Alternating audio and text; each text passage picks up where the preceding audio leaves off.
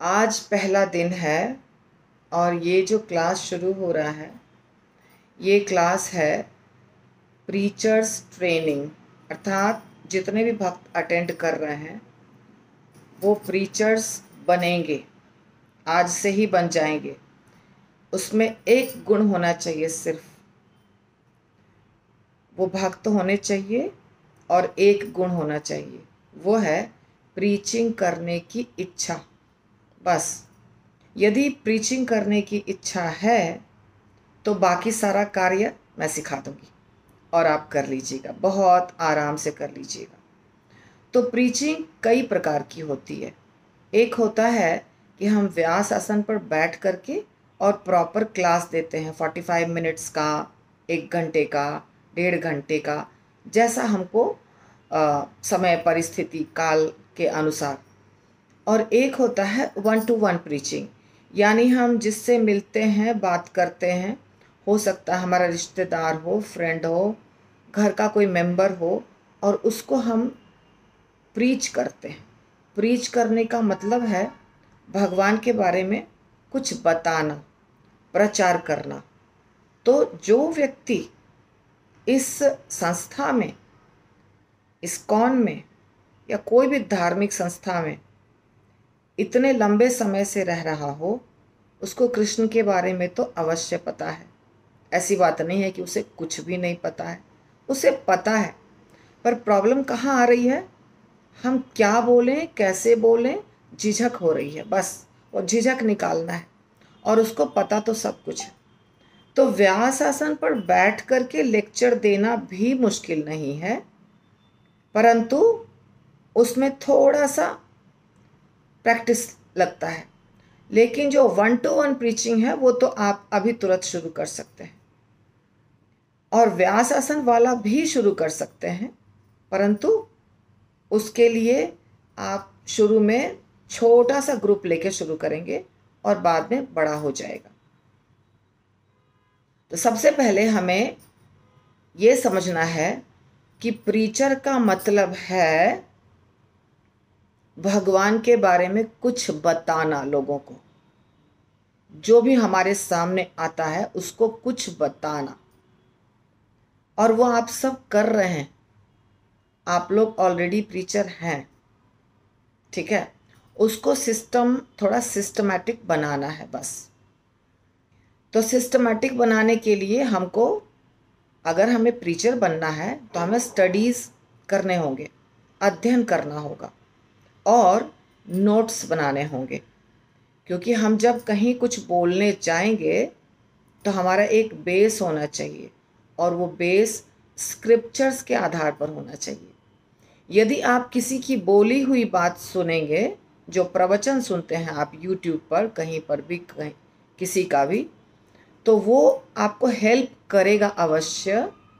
परंतु आपका जो शास्त्र है उसके आधार पर प्रीचिंग होगी। वो जो बाहर का हेल्प है ना, वो थोड़ा बहुत परसेंटेज काम करेगा। शास्त्र जो है, वो कैसा है? आप जैसे बोलना शुरू करेंगे, आपको वो शास्त्र याद आएगी। आपको कंफर्म नहीं करना है कि गलत है कि सही है, क्योंकि वो तो सही ही है। इसीलिए हमेशा स्टडीज़ जो होगा, वो किसी ग्रंथ के ऊपर होगा। पुस्तक के आधार पर ही हमारी प्रीचिंग होगी। प्रीचिंग सुने सुनाए बातों के ऊपर नहीं होगी। वो ज़माना था जिस समय लिखित नहीं हुआ करता था और श्रुति चलता था। ऋषि मुनि बोलते थे और सामने वाला जो सुनने वाला, वो कैच करता था, फिर वो सुनाता था। अभी तो ग्रंथ हैं, लिखित ग्रंथ हैं तो लिखित ग्रंथ के ऊपर प्रिपरेशन होगी, तैयारी होगी। अब दो चीज़ें होती हैं प्रीच करने के लिए। एक होता है कथा। भगवान कृष्ण की लीला, भगवान राम की लीला, भगवान के भक्तों की लीला, दो चार भक्तों के बीच में भी लीला होती है और भगवान से डायरेक्टली भी लीला होती है, भगवान और भगवान के भक्त। तो इन सब लीलाओं का जो भी है ग्रंथों में वर्णन, उन सारे ग्रंथों से कथाओं को आप ले सकते हैं। और दूसरा होता है तत्व ज्ञान तत्व ज्ञान और कथा दोनों चाहिए। दोनों में से एक होगा तो आनंद नहीं आएगा। जैसे यदि आप सिर्फ़ कथा बता रहे हैं, पर वो कथा का निचोड़ क्या है पता नहीं है, उससे शिक्षा क्या मिल रही है पता नहीं है। जिसको आप समझा रहे हैं, उसे आप क्या शिक्षा देने का प्रयास कर रहे हैं, क्या मैसेज कन्वे कर रहे हैं, ये पता नहीं है। तो वो शिक्षा क्या हो जाएगी? इधर से सुने, इधर से निकला, कोई इम्प्रूवमेंट नहीं। लेकिन जब हम कथा को बोलते हैं और साथ में तत्वज्ञान भी देते हैं, तब वो कथा सार्थक हो जाती है। तो तत्व ज्ञान हमें कहाँ से मिलता है? तत्व ज्ञान भी हमें शास्त्रों से ही मिलता है। और सबसे ज़्यादा तत्व ज्ञान हमें श्रीमद् भगवद गीता से मिलता है। उसके बाद जो वर्तमान आचार्यों के शास्त्र हैं, जो श्रीमद् भगवद गीता, श्रीमद् भागवतम, वेदों और पुराणों के ऊपर ही आधारित हैं, उन ग्रंथों से भी मिलता है। जैसे रूप गोस्वामी के लिखित ग्रंथ, सनातन गोस्वामी के लिखित ग्रंथ, इन ग्रंथों से भी हमें तत्व ज्ञान मिलता है। तत्व ज्ञान भी हमको सीखना है और कथा भी हमको सीखना है। दोनों को मिला करके हम प्रवचन देंगे या प्रचार करेंगे। चैतन्य महाप्रभु ने कहा है, जारे देखो, तारे कहो, कृष्ण उपदेश, आमार आज्ञाय, गुरु होया तारो ए देश। और मैंने जो ये शुरू किया है कार्यक्रम इसलिए क्योंकि हमारे गुरु महाराज परम पूज्य श्रील गोपाल कृष्ण गोस्वामी महाराज ने चिंता व्यक्त की मेरे बारे में कि मैंने अभी तक प्रीचर्स नहीं बनाए हैं। प्रीचिंग तो बहुतों को किया है प्रीचर्स नहीं बनाए। मैंने बोला, महाराज जी, मैं अब प्रीचर्स बनाने की कोशिश कर रही हूँ। इसलिए मैंने स्पेशल ये शुरू किया है।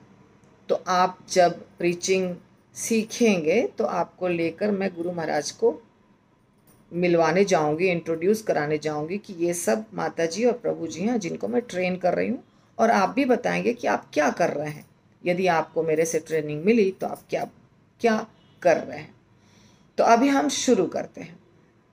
आप सब लोग अपने अपने नोटबुक्स को निकालिए, भगवत गीता को निकालिए, और पहले हम तत्व ज्ञान सीखेंगे थोड़ा सा।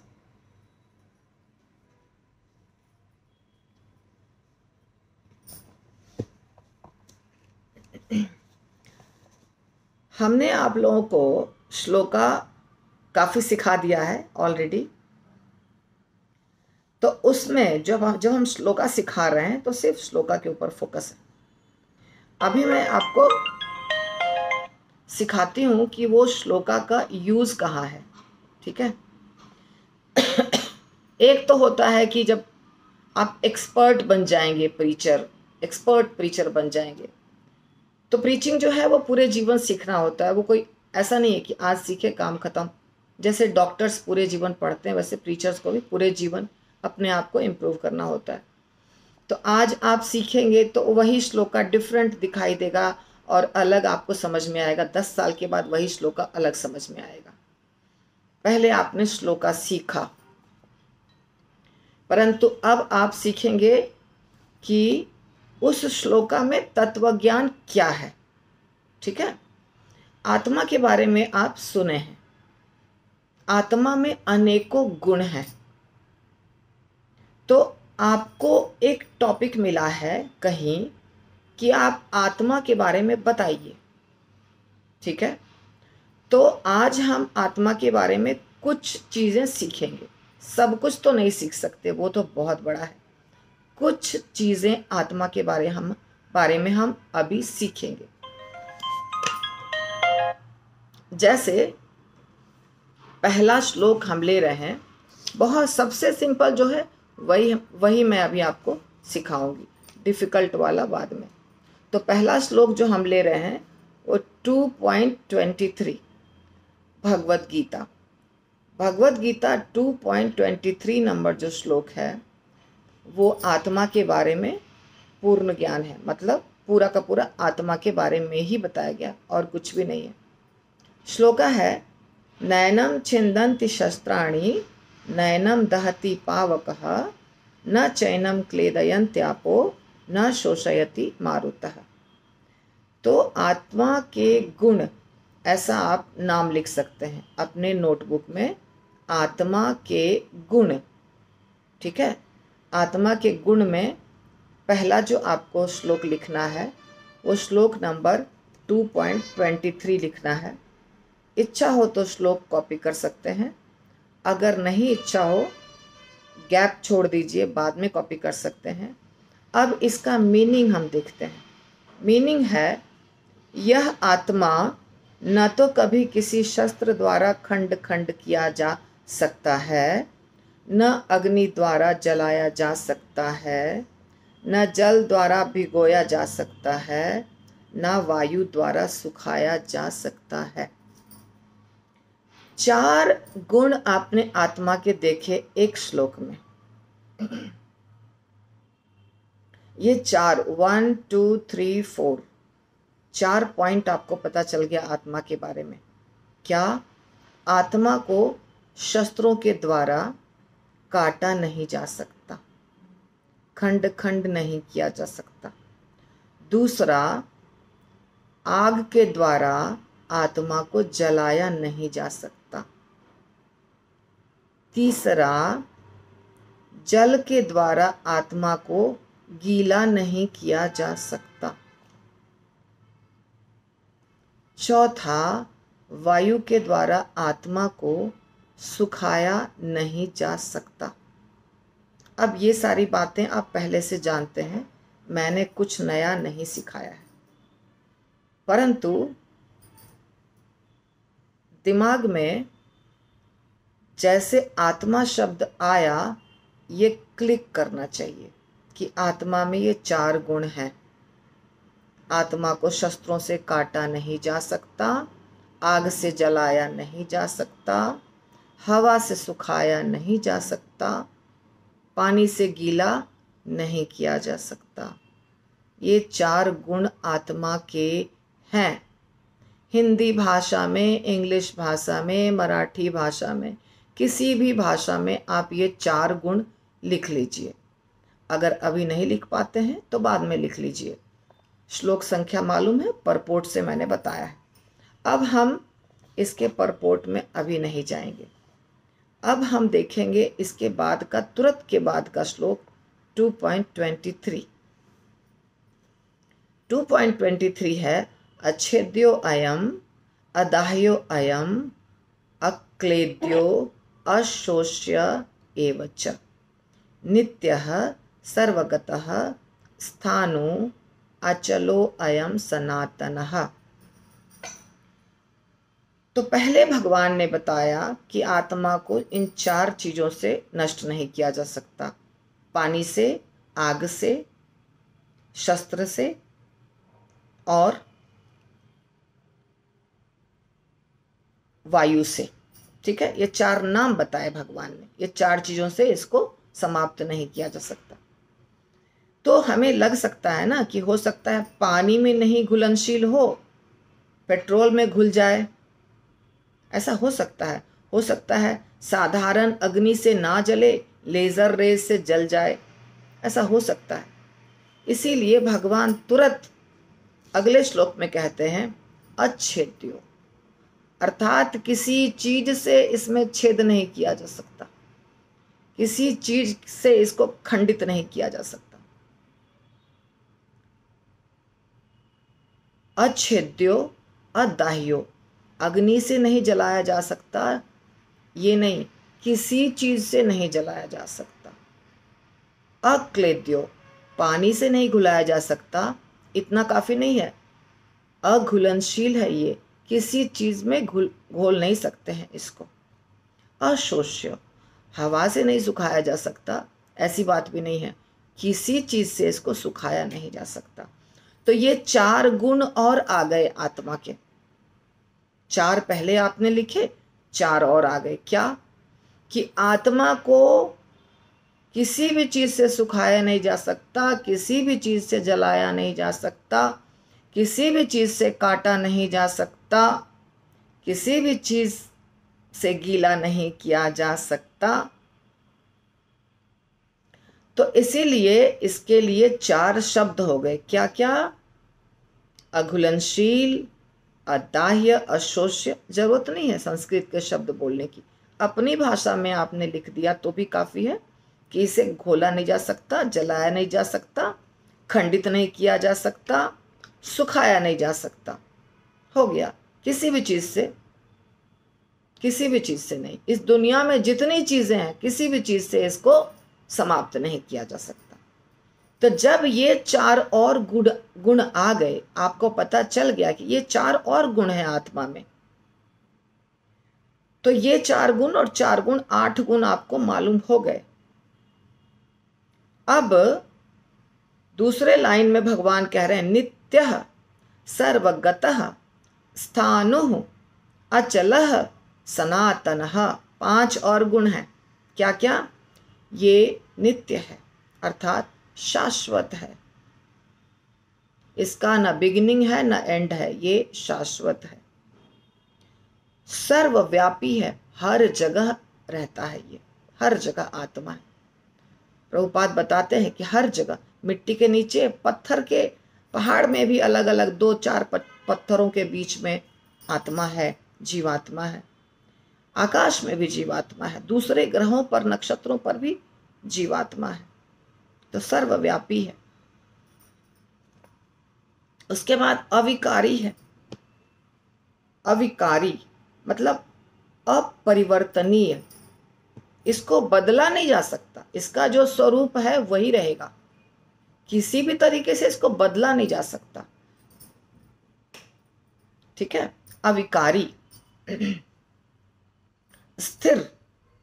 ये क्या है? ये स्थिर है।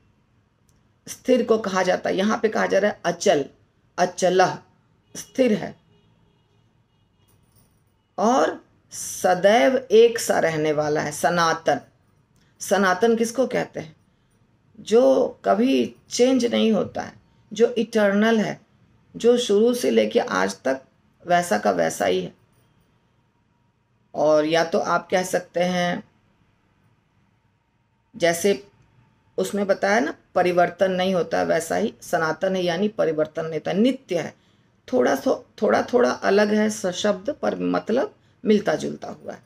तो इसको अगर देखना चाहते हैं और अच्छे से तो आप घर में बैठ के इसको, अर्थ को भी देख सकते हैं और क्लियर हो जाएगा। तो ये गुण हो गए आत्मा के और पाँच गुण। तो कुल मिला के आठ और पाँच।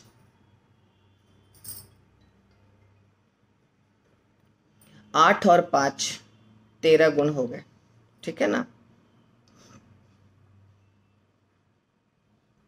प्रभुपाद ने इसका ज़्यादा बड़ा नहीं दिया है परपोट, इतना ही परपोट दिया है, छोटा सा परपोट है इसका। तो ये जो शब्द हैं, ये सारे शब्द, अब देखिए, अब आपको आत्मा के बारे में थोड़ी जानकारी मिली है, सिर्फ़ दो श्लोकों से। हम्म ज़्यादा श्लोक नहीं लिए हैं मैंने, सिर्फ़ दो श्लोक लिए हैं। तो दो श्लोक, दो श्लोकों से आपको आत्मा के बारे में कुछ जानकारी मिली है और जानकारी और श्लोकों से मिलेगी। अब यदि मैं आपसे बोलूँ कि माता जी आप पाँच मिनट आत्मा के ऊपर बोलिए तो क्या आप बोल सकते हैं? स्पीकर ऑन करिए। माता जी प्रभु जी जो भी है, स्पीकर ऑन करिए, आत्मा के बारे में बोलिए, बिना देखे। हरे कृष्ण माता जी दंडवत प्रणाम माता जी आत्मा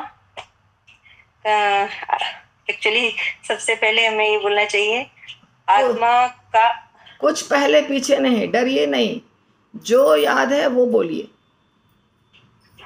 आत्मा को का जो शास्त्रों में वर्णन है उसके हिसाब से आत्मा को न कभी काटा जा सकता है न कभी उसको जलाया जा सकता है ना उसको पानी से भिगोया जा सकता है गीला किया जा सकता है और न वायु के द्वारा उसको सुखाया जा सकता है। करेक्ट न उसको काटा जा सकता है वो अघुलनशील है उसको घोला भी नहीं जा सकता है और किसी चीज़ से मतलब खंडित नहीं किया जा सकता है इसको। राइट और ना ही इसको सुखाया जा सकता है। राइट और आत्मा शाश्वत है सर्वव्यापी है अविकारी है और उसके अलावा स्थिर है सनातन है और नित्य है।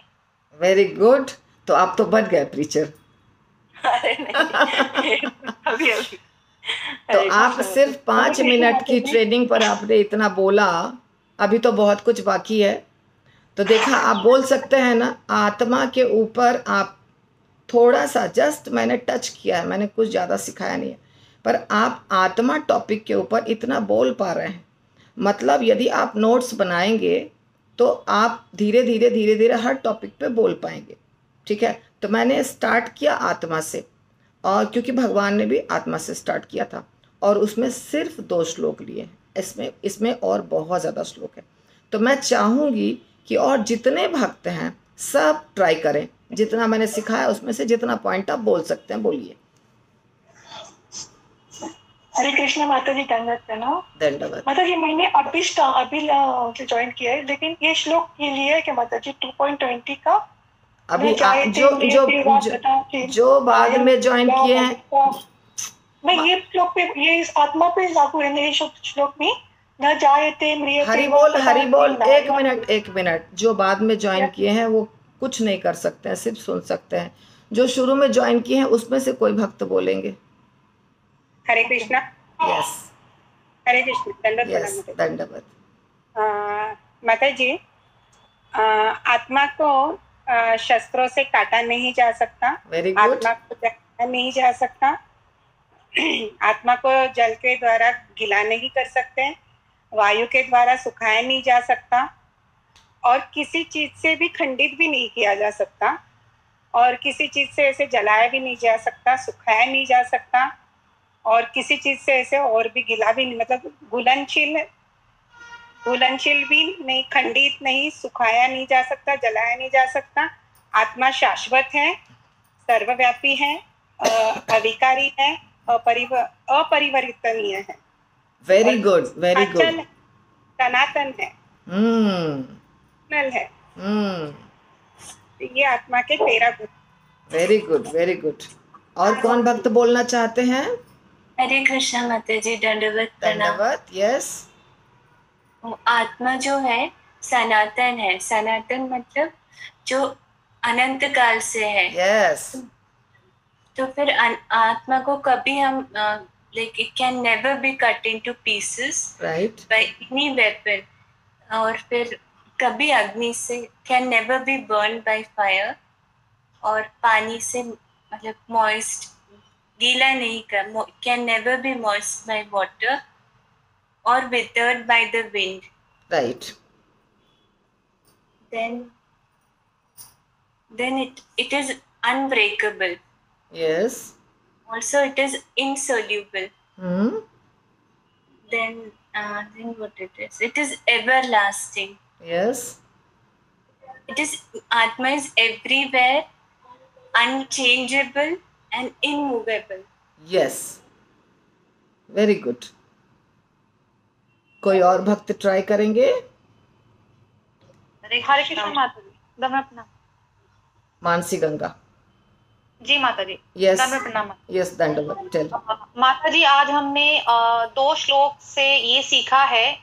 अ, पहले श्लोक में ये बताया है भगवान ने कि आत्मा आत्मा के चार गुण पहले बताए हैं जो सबसे पहले बताया है कि आत्मा को अग्नि से जलाया नहीं जा सकता। और आत्मा को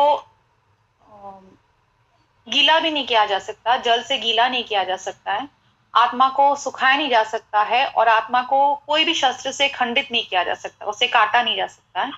और फिर दूसरे श्लोक में ये बताया है भगवान ने कि अ, आत्मा जो है अखंडित है और अघुलनीय है इट इज़ इनसोल्यूबल इट के नॉट बी डिजोल्व देन आत्मा को जलाया भी नहीं जा सकता है और सुखाया भी नहीं जा सकता है।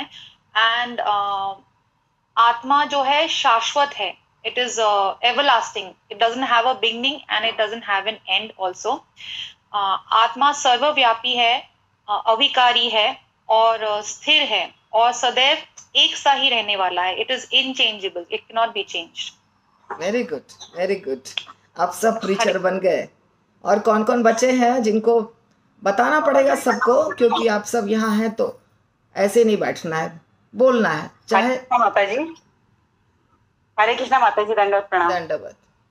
माधवा संगिनी देवीदासी यस माता जी बोलिए।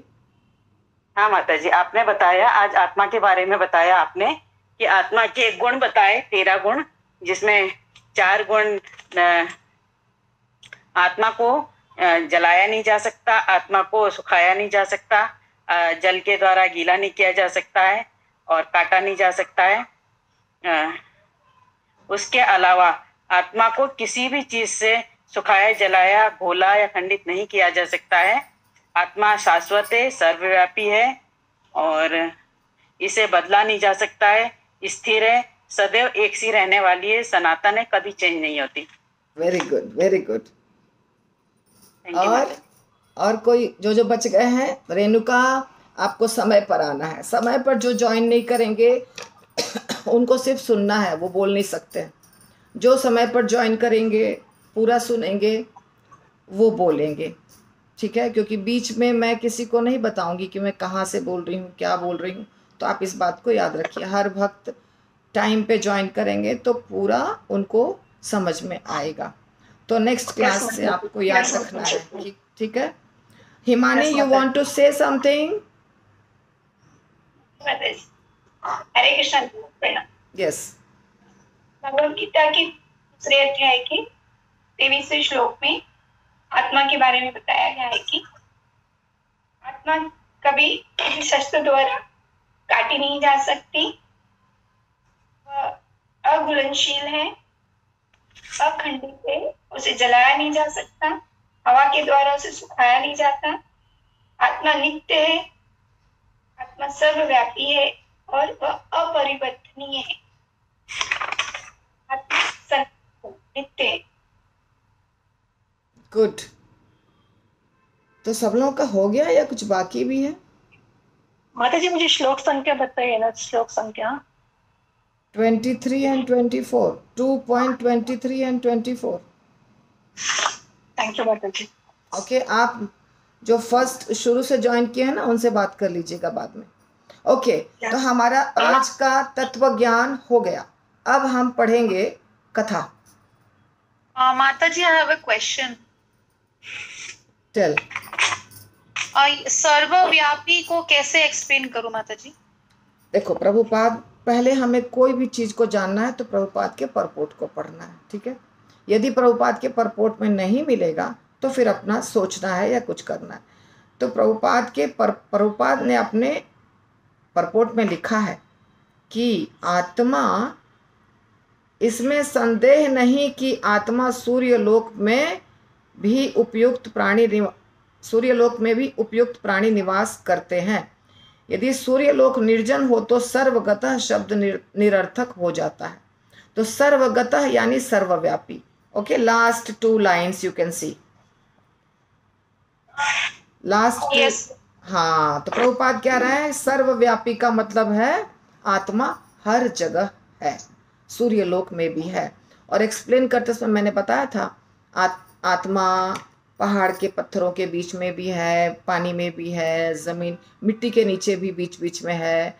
अन, अनेकों जो ऊपर प्लैनेट्स हैं उसमें भी है। तो सर्वगता का मतलब है आत्मा सब जगह विद्यमान है। सर्वगता सर्वव्यापी सेम ओके ओके माता ठीक है? तो अब हम. पढ़ेंगे अब हम पढ़ेंगे ये दो आपको नोट्स बनाने हैं। याद रखिए ये नोट्स बनाना है आपको। ऐसा नहीं कि पढ़ लिए, काम खत्म। बिल्कुल नहीं। इसका नोट्स बनाना है आपको। जब भी मैं आपसे पूछूँ, आपके पास नोट्स रेडी रहना चाहिए। दो श्लोका, और दो श्लोका में कितने आत्मा के गुण हैं, लिखना है आपको।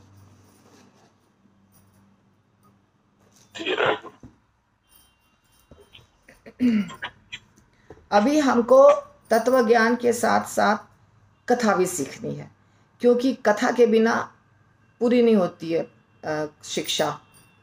आ, क्योंकि ये तो सब ऋषि मुनि नहीं है ना? साधारण जनता है घर गृहस्थी वाले लोग हैं इनको कथा अच्छा लगता है। तो कथा कथा हमेशा आना ही चाहिए प्रवचनकर्ता को या प्रीचर को। तो अभी हमने कृष्णा बुक लिया है पर कोई भी बुक ले सकते हैं। तो जैसे कृष्णा बुक है तो कृष्णा बुक में जो सबसे आसान कथा आपको लगती हो जिसके बारे में पहले से ही आपको कुछ मालूम है। इतने सालों आप सुन रहे हैं, सुन रहे हैं कथा। तो आपको पहले से ही कुछ मालूम है उस कथा के बारे में। वैसा कथा आप पकड़िएगा। आप उस कथा को खोल के पढ़िएगा। जैसे मैंने एकदम साधारण कथा ली है, जो आप सबको पता है, पूतना का वध। अब पूतना वध की कथा हर भक्त को पता है, पहले से। तो इसमें दो चीज़ें होती है। एक पूरे कथा के दौरान प्रभुपाद का तत्व ज्ञान भी चलता है साथ साथ में, और स्टोरी भी चलती है। कथा में स्टोरी और तत्व ज्ञान दोनों रहता है। हम्म। आवाज़ यदि किसी के माइक से आ रहा है तो म्यूट करिए। जब मैं आपसे पूछूँगी, तब आप माइक ऑन करिएगा। हम्म? तो हमने साधारण सिंपल कथा ली है पूतना वध जो कथा आप सबको पता है। तो जब आपको कहीं बोलने का मौका मिले कि भगवान की कृपा से आज आपको कहीं बोलना है, ठीक है? तो आपको कहीं बोलना है तो आपको ऐसी कथा चुननी है जो बहुत सिंपल हो, जो आपको आधे से ज़्यादा कथा आपको पहले से मालूम हो, वो कथा लेनी है। ऐसी कथा नहीं लेनी है जो एकदम हम लोगों को जा कर के सरप्राइज़ देंगे, जो किसी को पहले से नहीं पता, वो बताना नहीं। ये नया प्रीचर नहीं कर सकता है। तो नए प्रीचर को हमेशा वो स्टोरी लेनी है जो सबको पता है। पहला पॉइंट हो गया। दूसरा पॉइंट जब आप प्रवचन देने जाते हैं, कहीं कुछ बोलने जाते हैं, कभी भी आप किसी की नकल मत करिए, है ना? वो प्रवचनकर्ता बहुत फ़ेमस है, वो बहुत हंसाता है, वो बहुत अलग तरीके से बात करता है तो उसको थोड़ा कॉपी कर लेंगे, उसको थोड़ा कॉपी कर लेंगे। नहीं, आप जैसे हैं, वैसे ही रहिए। और उसमें ही लोग लोग आपको पसंद करेंगे। जिनको लोग ऑलरेडी पसंद कर रहे हैं, उनको तो बहुत सुन चुके हैं। पर आपको पसंद करेंगे क्योंकि आप में कुछ विशेषता है अलग प्रकार की। इसलिए किसी को कॉपी नहीं करना है। कथा पढ़ेंगे एक बार, दो बार, तीन बार, चार बार। उसमें जो जो चीज़ अच्छा लगा उसको अंडरलाइन कर देंगे। ये बहुत दिल को छू रहा है, इसको अंडरलाइन कर देंगे। तीन, चार बार, पाँच बार पढ़ लेंगे। अगर कथा दो घंटे की है तो आपको इसमें से हो सकता है पंद्रह मिनट का याद रहे, बीस मिनट का याद रहे। चिंता की कोई बात नहीं है। कथा शुरू से अंत तक उसी फ्लो में जाएगी, ऐसा भी नहीं होगा। हो सकता है आप आगे का पीछे पीछे का आगे कर दें। उसमें भी कोई चिंता की बात नहीं। है आपको सिर्फ़ कथा सुनानी है। जितना पार्ट मालूम है, उतना ही पार्ट सुनाना है। ये आपको याद रखना है। कथा लेनी है, कथा पढ़नी है। एक बार नहीं पढ़नी है, बहुत बार पढ़नी है। वैसे तो हमेशा बहुत सारी कथाएँ पढ़नी है। पर जब आपको कहीं बोलने जाना है तो एक कथा को तीन चार बार पढ़नी है। पढ़ना है, उसके बाद अंडरलाइन करना है।